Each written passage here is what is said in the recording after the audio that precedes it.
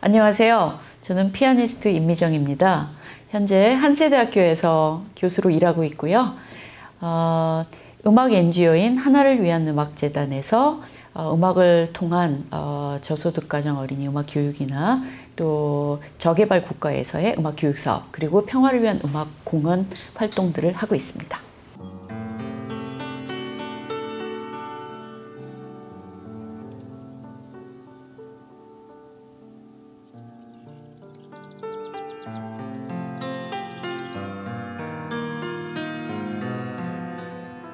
학생으로서 음악 공부를 할 때는 그 자기의 성장에 최선을 다하기 때문에 콩쿨이라든가 좋은 학교에 간다든가 그런 어떤 현실적인 목표들을 가지고 있기 때문에요.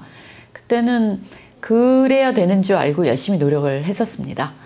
그런데 이제 삶을 살아가면서 나이가 들어가면서 내가 음악을 하는 진짜 이유가 뭘까라는 생각을 이제 고민을 하게 되고 이제 그런 과정에서 어, 많은 고민이 쌓인 어떤 활동들을 만들어내게 되죠.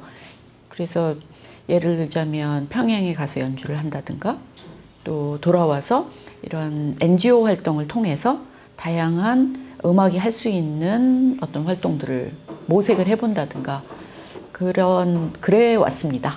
제가 학생 때 좋은 학교를 가야 되고 좋은 콩쿠르에 이겨야 되고 이제 거기에 대한 의심을 안 하고 무작정 열심히 했던 것 같아요.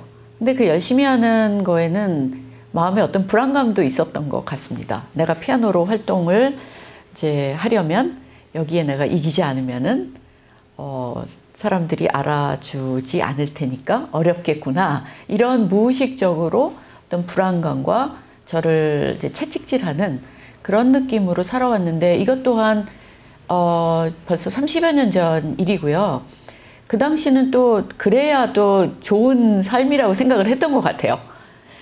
그런데 지금 돌이켜 보면 음, 불안감이 먼저 떠올라요. 그래서 아, 그것이 무엇에 대한 불안감이었던가, 뭔가 이 사회에서 성공을 하고자 하는 그런 불안감이었던가, 혹은 내가 이것보다는 더 큰 무엇이 있어야 되지 않나라는 무의식적으로 삶의 어떤 큰 부분을 생각하는 그런 불안감이었던가 그런 질문을 좀 합니다. 지금이 훨씬 좋은 것 같아요.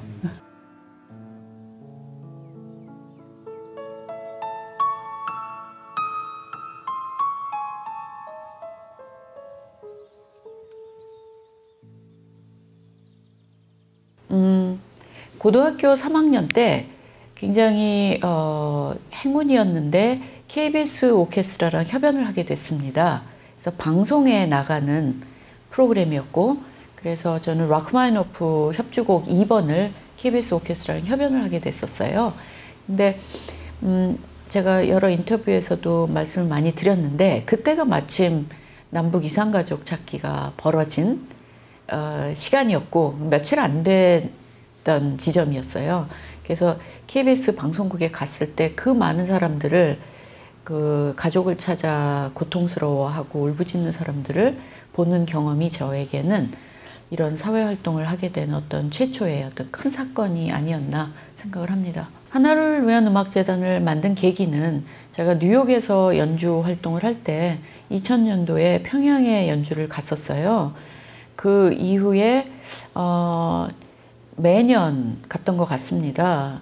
이제 제가 교포 남편과 결혼을 하면서 신분이 미국에서 살 수 있는 신분이 됐기 때문에 조금 더 편안하게 네, 그 갈 수 있는 여건이 됐었고요. 다니다 보니까 어, 나만 음, 이렇게 교류 그런 걸 하지 말고 이런 단체를 만들어서 좀 더 적극적으로 남북한의 음악가가 교류를 하면 어떻겠나 그런 아이디어가 기반이 돼서 2005년도에 창립을 했는데 그게 말처럼 또 기대처럼 쉽지는 않았었어요. 하지만 그래도 그 이후에 어 우리가 그 음악회를 해서 돈을 모아서 하모니카를 보낸다던가 또 홍수가 났을 때 수해 복구용 크레인을 사준다든가 또 혹은 어 우리 쪽 음악계 내부에 북한 곡의 악보를 소개한다든가 제가 또 북한곡을 초연을 한다든가 이런 활동들을 지속적으로 했습니다. 그래서 이 단체에서는 어, 그렇게 하다 보니까 활동이 확장되어서 우리나라 안에 있는 저소득 가정 어린이를 위한 음악 교육을 시작을 했고요. 그래서 그 이후에 2005년도 이후에는 사실은 국가에서 굉장히 많은 어, 무료 교육이라든가 학교 교육이 시작됐기 때문에 또 자연스럽게 저의 관심은 음, 제가 캄보디아와 탄자니아를 연주 때문에 여행을 갔다가 거기에 오히려 이런 빈민가에 음악 교육이 정말 중요하구나. 이렇게 단순히 한두 번 와서 음악가가 음악을 소개하는 게 아니라 지속적으로 이런 나라에서 음악을 교육할 수 있는 아마 여러분 비근한 예로 이태석 신부님이 어, 음악 교육을 그 하신 필름들을 우리가 많이 봤는데 그런 거죠. 누군가가 지속적으로 음악 교육을 하는 전문 음악 NGO가 필요하겠구나 해서 어, 지금 거의 10여 년이 됐는데요. 2010년쯤에서부터 저희가 그 저개발 국가의 음악 교육 사업을 시작을 했습니다. 그러다 보니까 지속성을 확보하기 위해서 이제 코이카가 그런 국제 개발 협력에 굉장히 많은 어, 프로그램을 하고 있는데 음악 교육이 코이카가 하는 사업은 아니었었어요. 그거는 조금 더 뭔가 긴급한 것으로 느껴지지 않기 때문에 근데 어떻게 보면 장기적으로 음악 교육을 통해서 인간이 자기 삶을 디자인할 수 있는 의지를 일깨우는 게 굉장히 중요하다고 생각을 했기 때문에 설득을 했고 또 이제 몇 번의 노력 끝에 저희가 코이카 프로그램을 받아서 탄자니아에서 4년 그리고 최근에는 미얀마에서 음악 교육을 이제 좀 더 시스템적으로 넣는 그것을 하고 있었고 작년 코로나 상황이 발생하기 이전까지는 어, 꽤 큰 성과가 있었습니다. 미얀마 교과부에서 교육부에서 아 이거를 그 단순히 몇 사람의 음악 강사만을 교육하는 것이 아닌 국가에서 아예 그 교육대학에서 음악 수업을 우리가 강사를 양성을 해서 전국에 있는 공교육에 넣자 이 정도까지 얘기가 되고 있는 상황에서 이제 코로나가 발생했고 또한 이제 미얀마에 지금 현 상황이 됐는데요. 이제 좀 상황이 복구되고 좀 몇 년 내로는 다시 정상적으로 우리가 하고자 했던 사업이 잘 진행됐으면 좋겠습니다.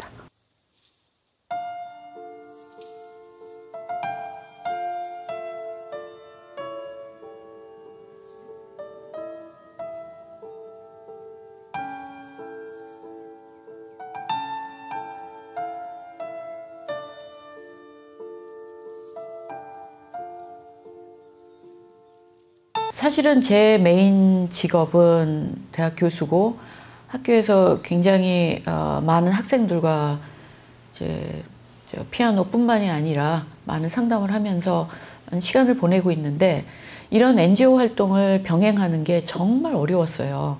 그런데 중요한 거는 제가 교육계에 있으면서 이런 NGO 활동을 하니까 사회와 학계를 연결하는 어떤 지점이 돼 간다는 게 저희 피아니스트 임미정의 활동을 통해서 아 대학에서도 평소 어, 학계 안에선 신경 쓸 수 없었던 아주 머나먼 이야기 같았던 아프리카의 어떤 일들이 어떻게 보면은 앞으로 예술대학 그 졸업생들의 직업의 장르도 될 수 있고 아 이런 게 음악으로 가능하구나를 저를 통해서 보여주는 것.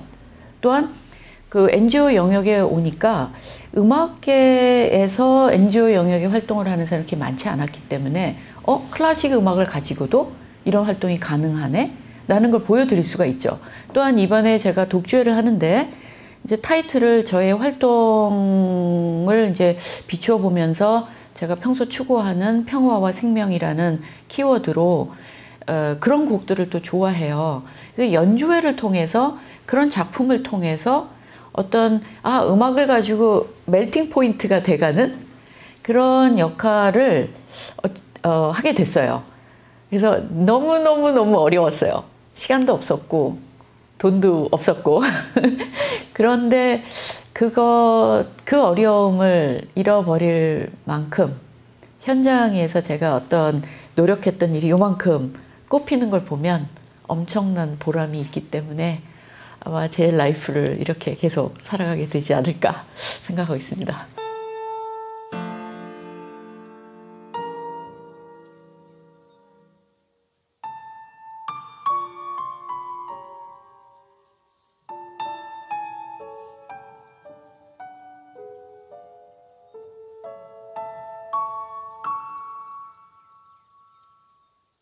사실은 제가 그 원하는 만큼의 연주 활동이 좀 그걸 못 했었어요. 시간이 너무 없었기 때문에 어 그런데 이제 그동안 그 외국에서 연주를 하거나 또 에, 조그만 연주들은 많이 했지만 저희 독주회라고 하면은 가장 내가 나의 음악 세계를 보여줄 수 있는 그런 활동이기 때문에 이번 독주회는 너무 늦었다 싶은 감이 있지만 어, 올해 꼭 하고 싶었고요. 그러면서 프로그램을 어, 제가 현재 하고 있는 이제 활동에서 어, 정말 좋아하는 슈베르트의 즉흥곡 어, 네곡 다 정말 아름다운 곡이거든요. 그래서 평화나 자연이나 이런 사랑이나 이런 것들에 대한 추상적 내용이 가득한 곡이고요. 그다음에 리스트 소나타는 음, 한 곡이 이제 30분짜리인데 그 안에 리스트라는 비르투오스 피아노 피아니스트가 작곡가가 추구한 모든 인간적인 희노애락과 드라마가 있는 곡이에요.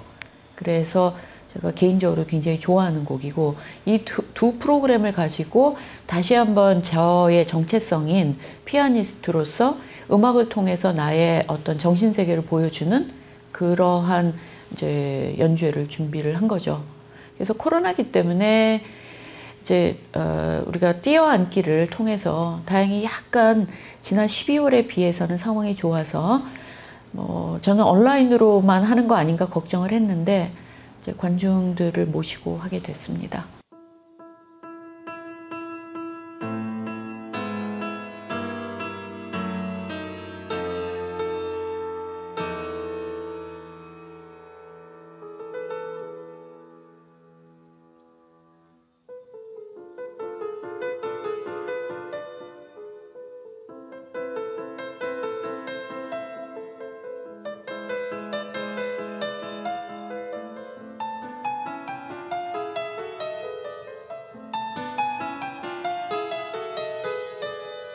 연주라는 건 항상 어, 굉장히 힘들어요. 특히 클래식 음악에서 피아노는 완전하게 어디 어, 다른 차원의 정신 세계에 속해서는 연주가 이루어질 수가 없어요. 사실은 근육도 생각해야 되고 그 다음에 논리적인 작곡가의 구조도 생각을 해야 되고 뭐 이, 에, 굉장히 테크닉이 어렵기 때문에 그러나 이제 오랜 꿈이었. 있었던 것 같아요. 내가 음악을 통해서 내 정신 세계에 내가 가장 깊이 어, 거의 기도할 때 혹은 명상을 할 때 어떤 상태에 도달하는 그렇게 할 수는 없을까 이런 저 추구가 있었는데 그리고 독주회라는 건 한 시간이 넘, 넘는데요.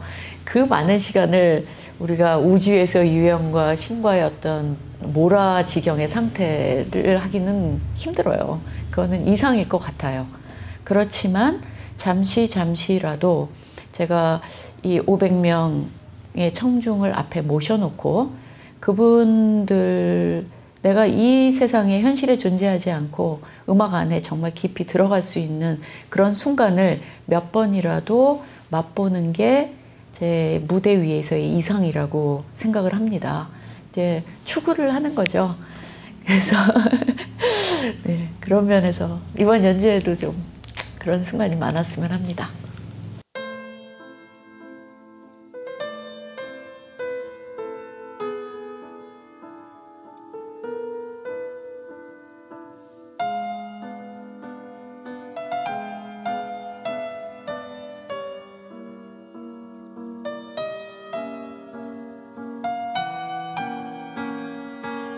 거기에 참 재밌는 게 있어요. 내가 교감하려고 남을 의식하면 사실은 교감이 안 돼요. 사실은 제 자신의 가장 깊은 곳과 제가 교감을 할 때 그게 청중들도 똑같은 마음을 느끼시거든요. 그래서 그거를 이제 객관적으로 문학적으로 표현할 때는 어, 저 연주자가 청중과 교감한다. 이렇게 표현을 할 수는 있으나 현장에 있어서 저는 제 자신의 가장 깊은 곳과 교감을 하려고 노력을 합니다.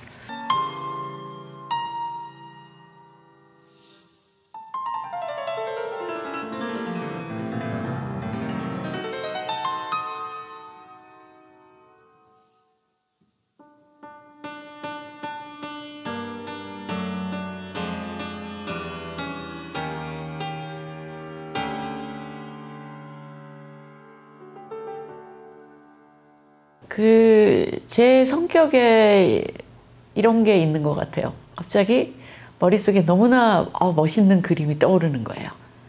그러면은 그 현실적인 조건은 생각을 안 하고 먼저 거기를 가기로 마음을 먹는 거예요. 그러니까 예를 들자면 제가 아프리카를 방문을 했을 때 거기에 이제 그 에이즈에 걸린 어, 그 굉장히 빈곤한 마을에 청소년들을 위해서 뭔가 이제 그 제 음악회를 통해서 약간의 돈을 마련해서 교복을 사줬는데 아, 여기에 이 아이들에게 음악 교육을 하고 그게 이제 정신적으로도 좋지만 구체적, 현실적으로도 그들이 오히려 이 음악이라는 걸 가지고 직업을 가지고 생활을 꾸려나갈 때 그들의 삶이 좀 나아지겠다라는 이제 여러 가지 차원에서의 좋은 그림이 떠올랐단 말이에요.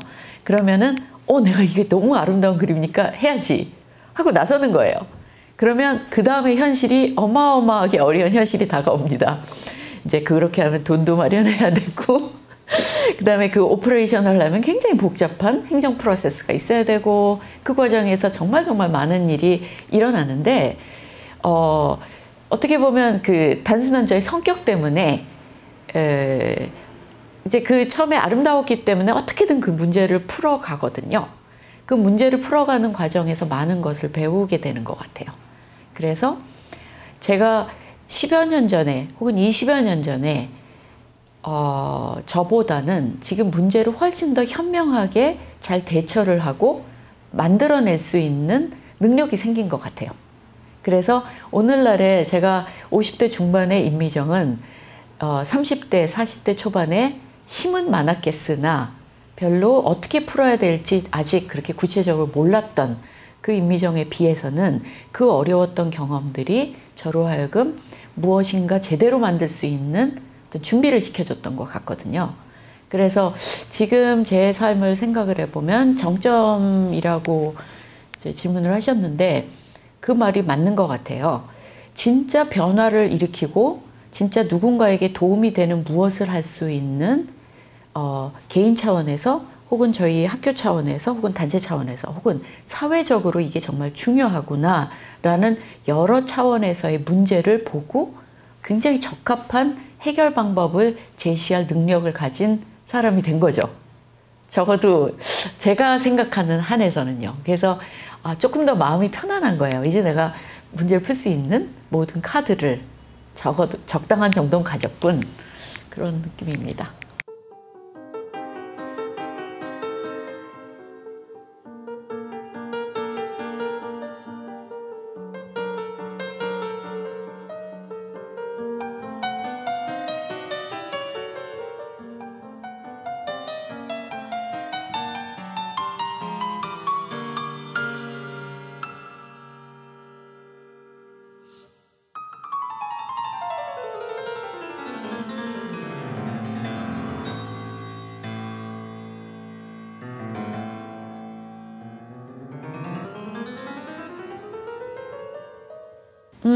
굉장히 많은 분들이 그 고식의 어떤 상황에 있을 때 도움을 주신 정말 많은 분들이 있기 때문에 한두 분을 얘기하기는 굉장히 힘든데 그 이런 것 같아요. 가끔은 어, 내가 왜 이렇게 어렵게 내 인생을 살지? 이렇게까지 안 살아도 내가 좋아하는 연주만 하고 살 수도 있는데 이런 질문이 들 때가 제가 제일 취약해지거든요. 어, 정말 다 그만두고 싶다 이런. 그런데 그 그럴 때 저한테 힘을 주는 분들은 음, 어, 자신을 희생해서 뭔가 이 인류에 도움을 주셨던 분들 그리고 그분들의 어려움 상황들. 뭐 예를 들자면 마더 테레사 같은 분이나 슈바이처 박사나 혹은 또 만델라 같은 분이나 굉장히 많은 세월들을 어려운 세월을 살아내셨잖아요. 이제 그런 분들의 삶을 생각을 해요. 그분들이 가졌던 어려움이나 그 희생심이나 그런 것은 정말 위대하잖아요. 그런 분들 덕분에 그분들이 이, 이런 거예요. 그 실질적으로 몇 명에게 도움이 안 된다 하더라도 그분들의 삶 자체가 모델이 돼서 어마어마한 영감을 주신다고 생각하거든요. 그래서 그분들의 삶이 어, 많은 사람들의 삶을 그런 자세를 갖게 만들기 때문에 저 또한 제가 제 학생들에게 아, 어려워도 그래도 우리 선생님은 이러이러한 것들을 같이 해냈어. 그래서 끝까지 어느 정도까지는 했어. 제가 분명히 어느 정도 한계까지 하겠죠. 뭐 어마어마하기가 아닌다 하더라도 그런 모범을 보이는 것 자체를 보여주신 분들이 저는 제가 제일 저의 멘토가 되셨습니다.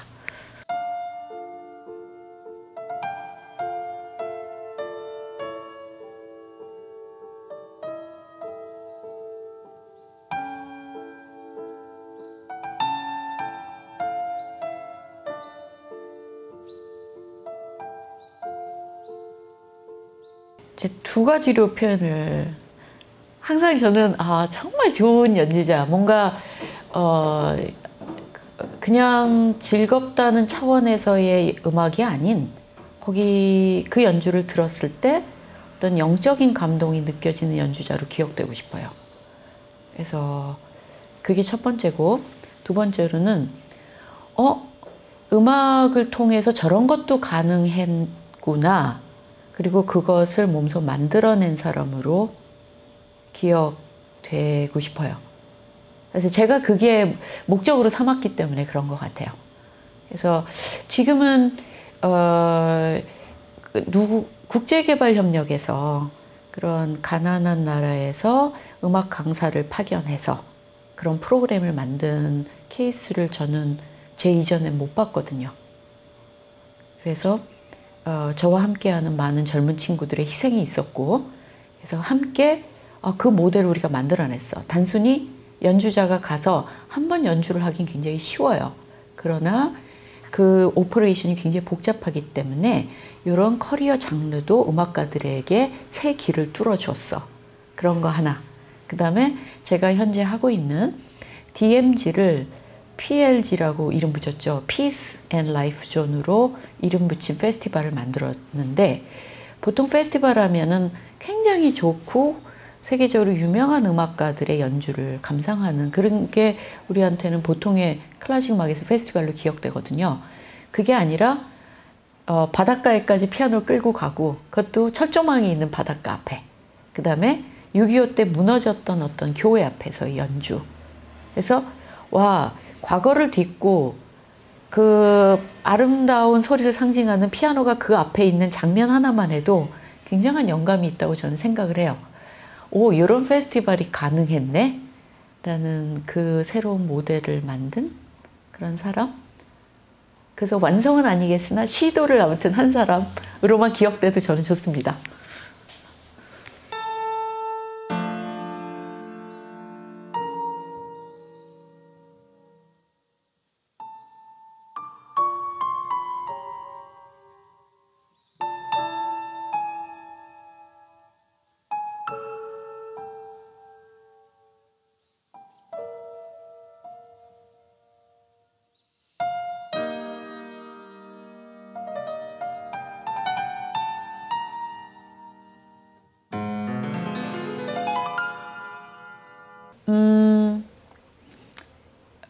저는 첫 번째로는 아주 어렸을 때는 너무너무너무 피아노가 아름다웠어요.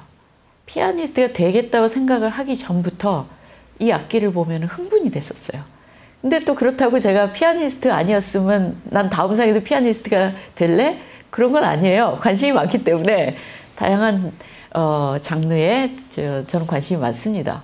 그런데 피아노가 아름다웠고요. 그런데 지금에 와서 피아노는 저에게 뭐냐면 음, 삶이 무엇인가를 반영해 보는 거울이에요. 왜 그러냐면 피아노를 칠 때는 이 안에 뭔가 표현하고자 하는 추상적이고 무의식적이고 근원을 알 수 없는 인간의 가장 가장 깊은 내면에 무엇이 있단 말이죠. 근데 그것을 소리라는 걸로 이렇게 드러낼 때는 현실을 통과해야 돼요.